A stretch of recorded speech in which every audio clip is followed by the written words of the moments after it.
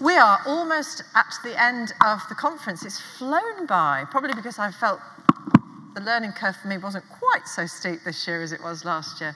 Uh, Simon has some uh, news from the AGM. Yes, so hopefully we'll be able to pop the slides over and announce the results of the AGM.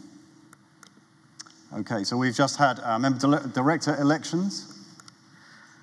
And I'm really pleased to announce that in the buyer-supplier category, we have Samuel Cliff, who's been uh, uh, elected. Uh, Sam, are you here in the hall? I can't...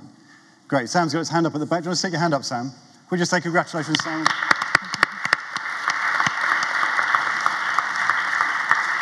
And from our supplier member director, we have AHM Kamruzzaman Chowdhury. Are, are you here, sir? I don't think he's here. Anyway, can we just wish him congratulations as well? So thank you, thank you both. Uh, congratulations, and also we want to thank our departing directors as well uh, for their great service. So thank you. Just a few of my layperson's observations, and I apologise if they seem a little naive, but last year we were talking about how to get beyond compliance. This year it's about how do we turn all that output into better outcomes, and there's an acceptance that there is a huge amount of data out there, but some of it is more useful than others. Some of it is good data, some of it is a bit pointless data. Um, so there is a need to be more discerning with effective uh, analytical tools and, and predictor tools. And, and uh, Henry, of course, was talking about how AI might help us, you know, predict what might happen next based on the pattern of what's gone before. Um, a great deal of um, desire for tra more transparency, the benefits of transparency, but we were also hearing as well that comes with, as a, as a burden for some, the, the idea of the, the data fatigue, collection fatigue, and also how do you find the time to fill in all those necessary forms in order to be more transparent. Um, regulation, different people have different views of that. Depending on what kind of government you're dealing with, will the politicians, can they be relied upon to pass the right kind of regulation to get us where we uh, need to be? As we've seen, it's quite difficult sometimes to find the right compromise. Um, collaboration, this morning, I was slightly surprised by one of the polls which said that there probably needs to be less collaboration at times because if it's appropriate collaboration, great. If you're well partnered with somebody else, it's probably going to lead to a better outcome. But sometimes those partnerships can be wrong and they can get bogged down if the process is, is, is difficult. We heard that very much from Sally Uren about the importance to make sure your collaboration is properly set out with a goal in mind from the very outset. Simon, it's your first conference, having only taken over as CEO a couple of weeks ago. Interested to hear your reflections. Oh, thank you. So I, I, I think I, I set to, um, to, many of you, I set a challenge actually. I, I asked you to come and uh, come and grab me, tell me, tell you, tell me what you think we should be doing at SEDEX, what you like, what you'd like us to change.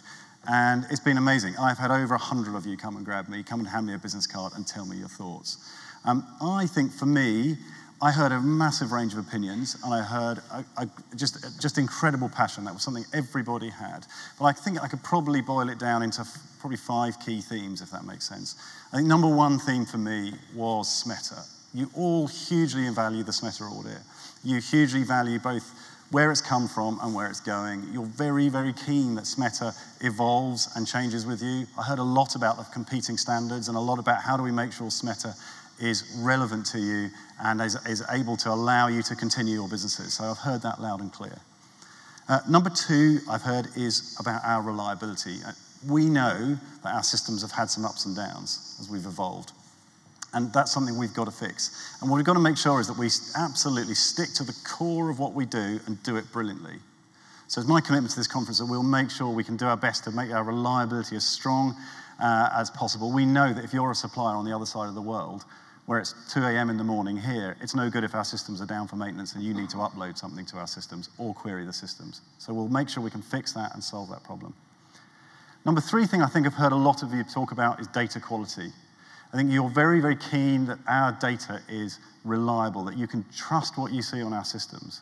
Now, we know that there are many mechanisms to validate that data, and we know it's important that we work on lots of those. That's audit, increasing the, the, transparency and ability of the audit process, but also beyond that as well. And we will be working on that as a strategy, and I've heard that loud and clear.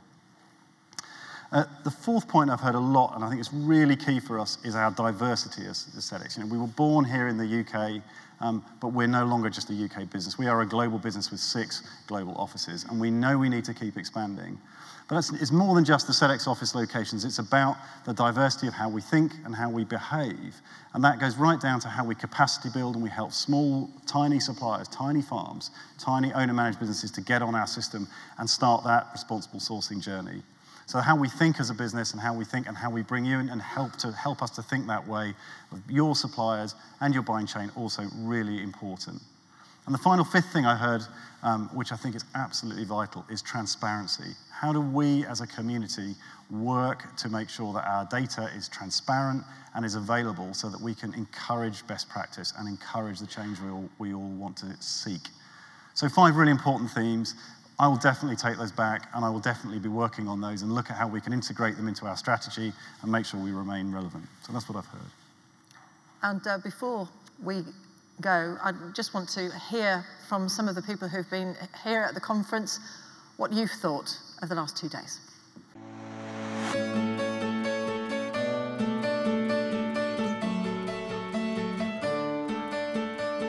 So very much looking forward to learning and also you know meet some people so we can learn some new tools, new techniques. As well as catching up on the latest things from SEDEX and what's happening in the programme, it's to get to meet people uh, and really share some ideas.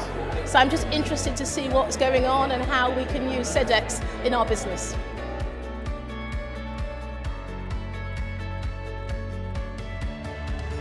So we're a big supporter of SEDEX. Um, we really believe in a one system for a supply chain, so it really makes our world a lot easier and efficient. We are using SEDEX to enable us to have that level of transparency that we otherwise wouldn't have.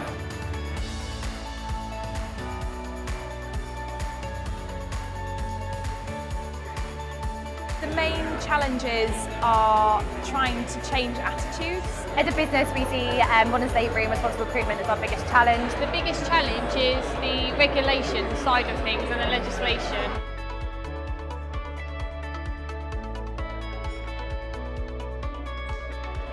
The biggest challenge, challenge, I think, is transparency, traceability of the product. I think we have to think about how do we get buyers to behave ethically in the decisions that they make and the behaviours that they exemplify. The best product at the cheapest prices. That's the biggest challenge. That's a utopia buyer members live in.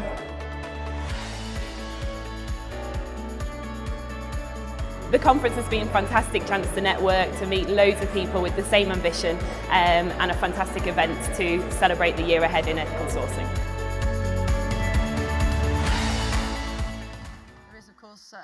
Opportunity for you to have your say, and I hope you'll take advantage of that. Uh, please fill in the survey. Let the SEDEX team know what you've enjoyed, what you think needs work on, and it will inform future events. And final thanks to all of the companies and organisations that have sponsored various aspects of the conference this year. And without you, much of it would not be able to happen. And just a reminder, before you go, there are refreshments to send you on your way. Thanks, Martine. So it just remains for me uh, to close proceedings. I just want to finish with a few words of thanks. Firstly, thank you for welcoming me. Thank you for all of the comments that you've made. Um, this conference wouldn't have happened without an incredible amount of work. Uh, believe it or not, there are 75 members of SEDEX here who have all been part of planning, executing, making sure you're all in the right rooms, making sure that all the things that you've said have been captured. They've done an absolutely astonishing job. So could you just put your hands together for the SEDEX team, please?